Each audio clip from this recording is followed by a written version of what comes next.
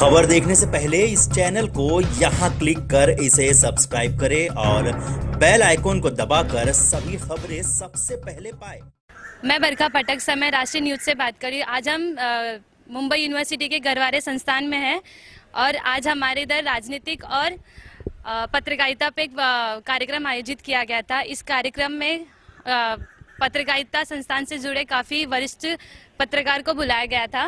और हमारे आज के वक्ता हैं। सैयद जलालुद्दीन एक एडवोकेट भी हैं। आज हम इनसे पत्रकारिता और राजनीति पे बात करना चाहते हैं। सर आपका इस बार मामले में क्या कहना है? ने आज का कार्यक्रम बहुत अच्छा रहा। मैं शुक्रगुजार हूँ जनाब सरोज त्रिपाठी साहब का और सैयद सलमान साहब का और आप सबका कि आप सबने बड़ी मोहब्बत के साथ इस प्रोग्राम को जो है ऑर्गेनाइज़ किया। और इसमें जो है बड़ी तफसीली बातचीत आप लोगों के साथ हुई। सियासत का, सहाफ़त का, जर्नलिज़म का और पॉलिटिक्स का बड़ा गहरा रिश्ता है चोली दामन का है। और शुरू के वक्तों से अगर आप देखेंगे जर्नलिज़म की हिस्ट्री में भी तो वो लोग आम तौर पर जो सियासी ज़िंदगी में पहले आए तो कहीं ना कहीं किसी न किसी नज़रिए, किसी न किसी विचार और सिद्धांत को सामने रख करके वो आए थे। और फिर वो अपने उन्हीं विचारों को प्रमोट और उसको प्रोपगेट करने के लिए उन्होंने जो है सहाफ़त का, पत्रकारिता का साथ दिया और साथ लिया।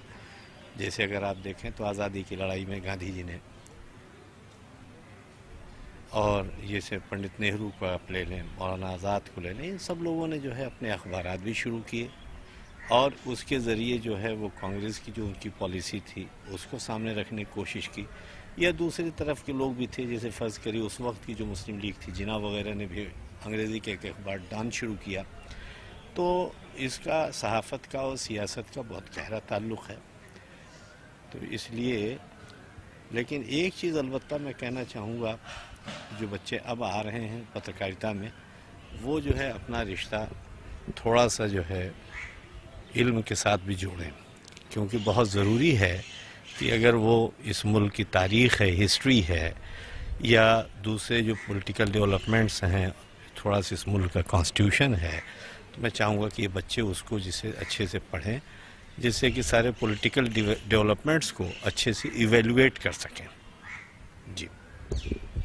अब हम गरवारे संस्थान के पत्रकारिता के कोर्स कर रहे बच्चों से। इस को इस पे बात करना चाहेंगे।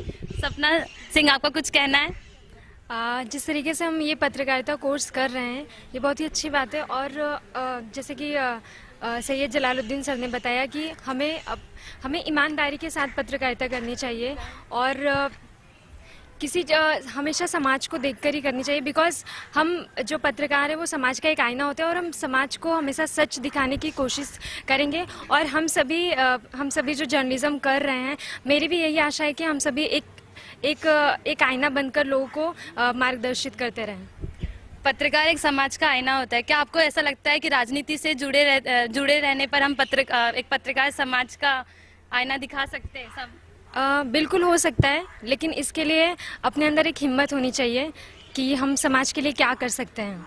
वो अपनी एक लेखनी की कला होनी चाहिए, अगर आप प्रिंट मीडिया में जा रहे हो या फिर इलेक्ट्रॉनिक में जा रहे हो तो आपकी एक बोलने की क्षमता होनी चाहिए। उसको रखने का पक्ष होना चाहिए कि आप किस तरीके से उसे रख रहे हैं, किस तरीके से बोल रहे हैं। तो सामने वाला बात भी आपकी बात को मान ही लेगा।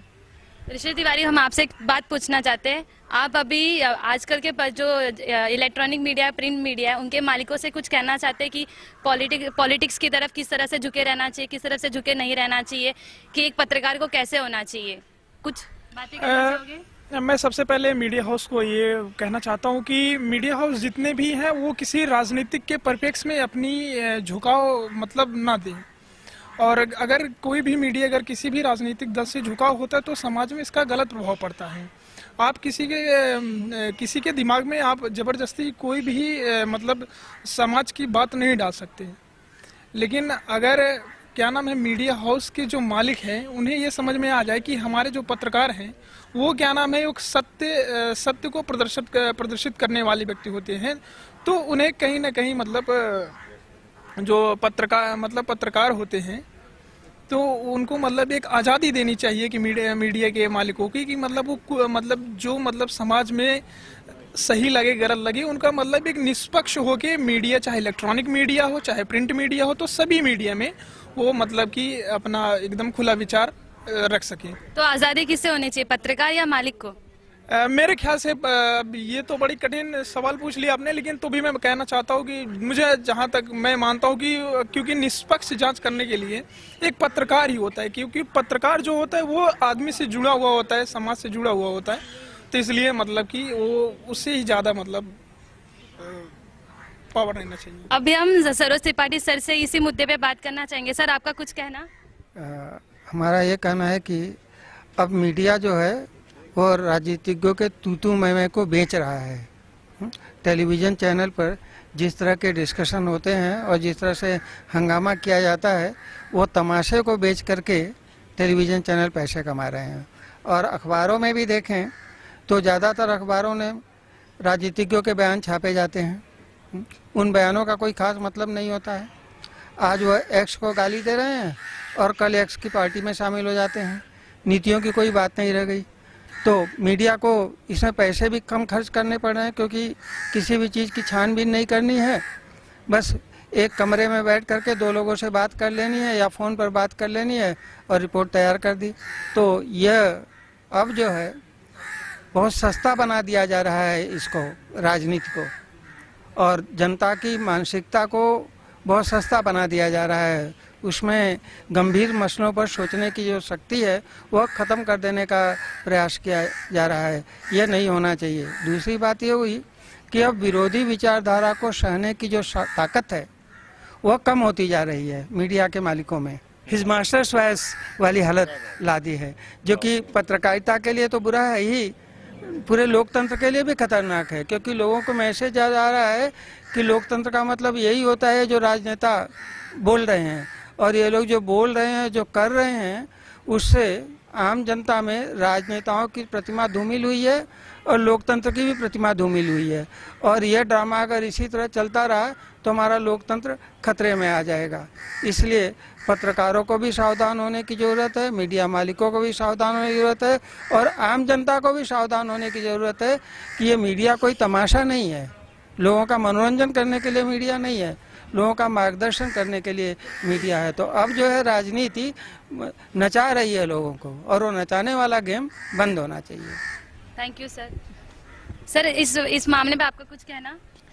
इस मामले में मैं एक ही बात कहूँगा कि पत्रकार को राजनीति के प्रभाव में नहीं आना चाहिए। निष्पक्ष जो सही बात है उसे लिखना ज़रूरी है बिना डर के। सर मैं आपको एक क्वेश्चन बैक करती हूँ। अगर एक पत्रकार अगर अपनी बातें लिखने जाएगा तो मालिक उस बातों को स्वीकार नहीं करेगा। तो उसके बदलाव के लिए कुछ मालिक को बोलना चाहते हो? नहीं मालिक के लिए मालिक को भी इस बात को समझना चाहिए कि उनके अखबार की या उसके उनके इलेक्ट्रॉनिक मीडिया की भी इमेज बनी रहे। पत्रकार और समाज की भी इमेज बनी रहे दोनों में सामंजस्य बैठाना ज़रूरी है। यह मालिक को सोचना चाहिए। सर मालिक किसकी बात सुनेगा? एक पत्रकार की या अपनी या जिस पार्टी के अंदर वो रहे उसकी? नहीं ये तो स्वाभाविक है कि वह राजनीति में ज़्यादा इंटरेस्ट रखते हैं राजनीतिक संरक्षण रहता है ये सच है। इसके बावजूद भी कहीं ना कहीं वो भी एक पत्रकार है और उसके मन में कुछ तो एक पंच लग, लगता ज़रूर है कि मैं गलत कर रहा हूँ। एक न एक दिन उस पर सुधार होता ही है। इस मामले पे हम गंभीर बात करेंगे सलमान सईद से। सर आपका कुछ कहना? अ, किस विषय पर? इसी विषय पे राजनीतिक और पत्रकारिता। राजनीति और पत्रकारिता। एक एक दूसरे से इस कदर गड्ढमड हो गए हैं। मैंने पत्रकारों को आज के दौर में जिस तरह की राजनीति हो रही है और जिस तरह की पत्रकारिता हो रही है अच्छे अच्छे पत्रकारों को मैं कई जैसा कि तो जानती हो, इस दौर में सोशल मीडिया का दौर है। सोशल मीडिया में इतने सारे ग्रुप्स बने हुए हैं। वो चाहे फेसबुक पे ले लीजिए ट्विटर पे ले लीजिए, आप व्हाट्सएप पर ले लीजिए। गंभीर से गंभीर बड़े पत्रकारों को भी किसी न किसी आइडियोलॉजी से जुड़ा हुआ पाया जा रहा है और वो अपनी बात सख्ती से रख रहा है क्योंकि वो अपने चैनल्स पर कुछ बातें नहीं रख पाता है। अब दोनों तरफ़ के चैनल्स हैं, दोनों तरफ़ के, दोनों तरह के अखबार हैं। संख्या किसी की ज़्यादा हो सकती है, किसी की कम हो सकती है। लेकिन अच्छे अच्छे लोगों को अपनी राजनीतिक सोच को सख्ती के साथ रखते जब हम देखते हैं तो जब उनके आर्टिकल्स हम अखबारों में पढ़ते हैं, उनके संबंधित अखबारों में, उन जिस चैनल से जुड़े हुए हैं, जब उस चैनल पर उनको देखते हैं और जब वो बातें रखते हैं तो एक चीज़, कोई चीज़ नकली नज़र आती है। जो सोशल मीडिया पे वो है, या तो वो नकली हैं, या फिर जो अखबार और चैनल के लिए लिख रहे हैं, वो नकली हैं। ज़ाहिर सी बात है कि सोशल मीडिया स्वतंत्र है इनके अपने विचार हैं इसलिए सच्चाई जो लिखते होंगे जो उनके मन में है वो सोशल मीडिया वाला सही है। अखबार के लिए और चैनल्स के लिए जब वो बोलते हैं या लिखते हैं तो कहीं ना कहीं मालिकों का प्रभाव है और वो अपने उस तरह के प्रभाव से हैं। अच्छे अच्छे लोग पत्रकारिता में आए हुए लोग अ, हमारे ज़रिए सीखे हुए लोग हम लोग जैसे सीखे हुए लोग हमारे साथ के सीखे हुए लोग विचारधारा से प्रभावित और उस तरह की बातें रख रहे हैं जो पत्रकार की दृष्टि से अगर उनके नैतिक मूल्यों को देखा जाए तो कहीं ना कहीं वो गलत लगता है। फिर भी वो अपनी बातों को रख रहे हैं और ऐसे लोगों को सम्मान की दृष्टि से देखा जा रहा है। तो ये कहीं ना कहीं एक प्रश्न पत्रकारों पर उठ रहा है और राजनीति उस पर कहीं ना कहीं हावी है। आज इसके, आज इस फ़ंक्शन के दौरान हमें ये पता चला कि पत्रकारिता और राजनीति के काफ़ी अलग अलग रास्ते बट ये एक ऐसे रास्ते जो आगे चल के एक साथ जुड़े जा सकते हैं। पत्रकारिता से राजनीति चलती है और राजनीति से पत्रकारिता चलती है।